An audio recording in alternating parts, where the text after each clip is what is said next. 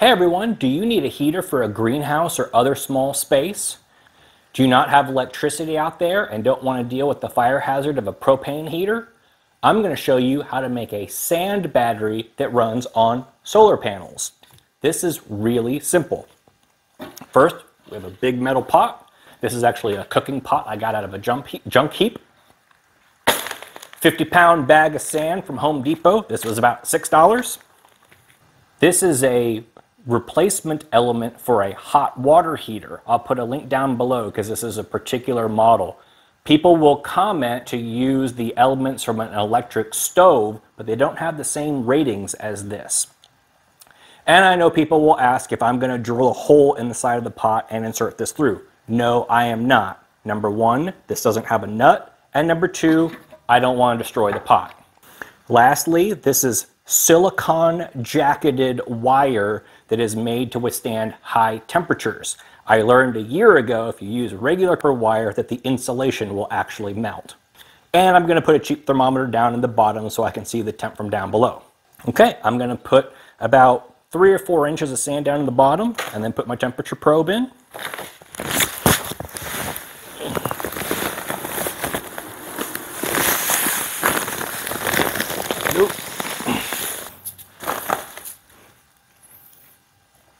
Put my thermometer down towards the bottom and put the heating element in and fill the rest up.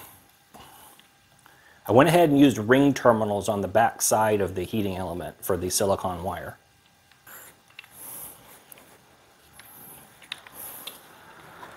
And now we add the rest of the sand.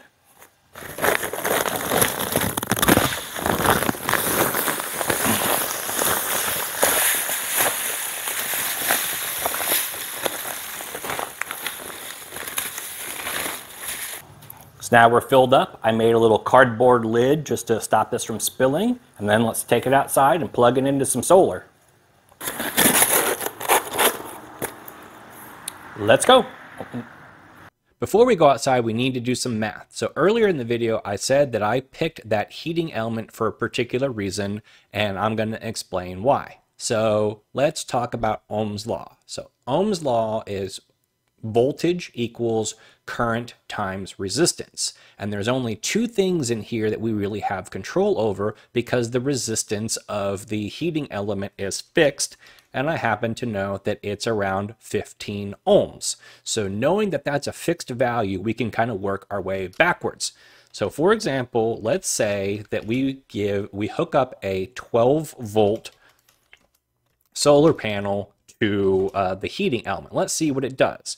Well, since 15 ohms is fixed, that means that I'm only going to get 0.8 amps worth of pull from the solar panel. Now, the reason why we wouldn't want to do that is because the power that's going to come out of that heating element is going to be very small. So power, which is watts, is amps times volts. So if I take 12 volts times 0.8 amps equals 9.6 watts, which is nothing. It's like the power output out of a lighter. Okay. So instead, I have two 35 volt panels in series to give me around 60 volts. Now, at 60 volts with 15 ohms of resistance means that it will I will pull about 4 amps. Okay, so 15 times 4 is 60.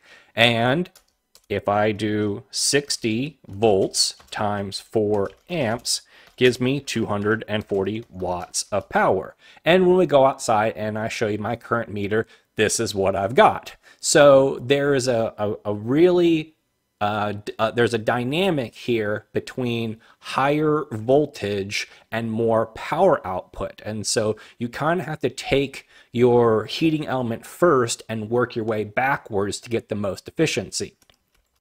If I were to give it 120 volts worth of solar, which would be four of these panels, then they would pull 8 amps and I would get 960 watts. And this heating element is rated to 1000 watts.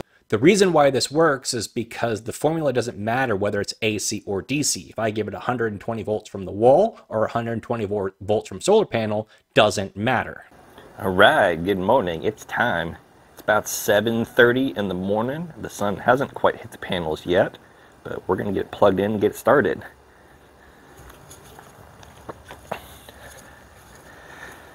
So, my two panels are in series.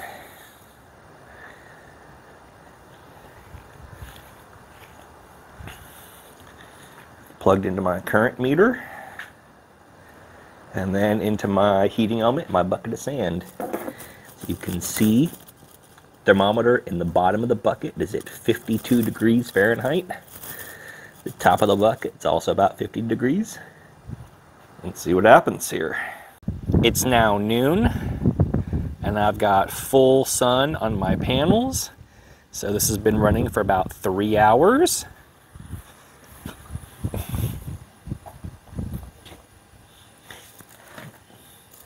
You've got 60 volts at 3.8 amps for 240 watts. 700 watt hours of power has gone through the last three hours. And let's see what's happening in the bucket. The thermometer that's down in the bottom of the sand has errored out, which means it's greater than 200 degrees. My meat thermometer shows about 120. It's 2 o'clock, so this has been baking a good chunk of the day. Uh, we've got some cloud cover today, so the sun's kind of been coming and going.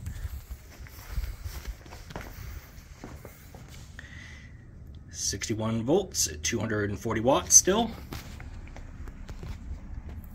We're holding around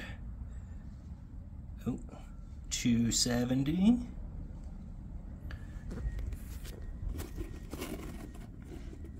And my meat thermometer shows 255, still climbing.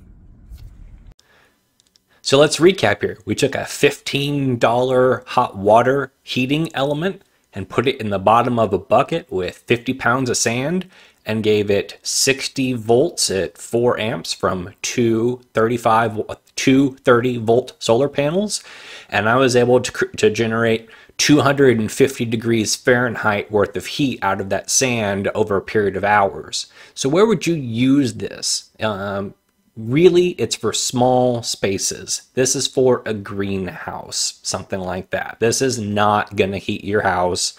This is not going to replace a, a, Mr. Buddy heater, but if you need a, an easy way to heat a small space, uh, this is kind of a fun project. So, questions and answers. Let's do a lightning round. Number one question I know I'm going to get why didn't I drill a hole in the pot? Well, number one, I didn't want to destroy the pot. Number two, the heating element doesn't have a nut on it, so there's no way for me to attach it. Number three, it works better when the heating element is kind of in the middle of the sand. You know, it's got some some mass around it, and if you would have drilled in from the bottom or from the side, it the heating element wouldn't have been centered. Number two, why don't I use rock wool or some sort of insulation around the bucket? Okay, so this ties into another question I get a whole lot, which is why don't I run vent pipes through the sand and blow air through it? It really depends upon how you are going to utilize this. If the sand bucket is inside the structure that you are wanting to heat, then none of that matters because the heat that's inside the sand is going to eventually make its way out to that airspace anyway.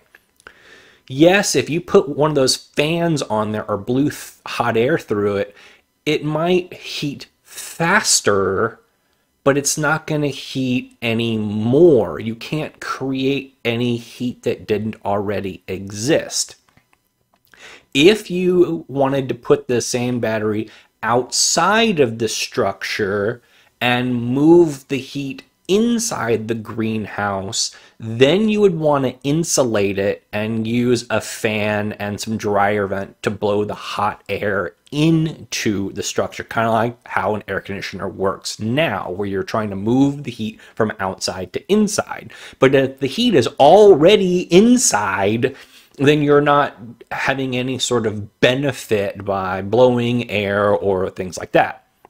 Same thing with putting copper or aluminum slats inside the sand to heat those up.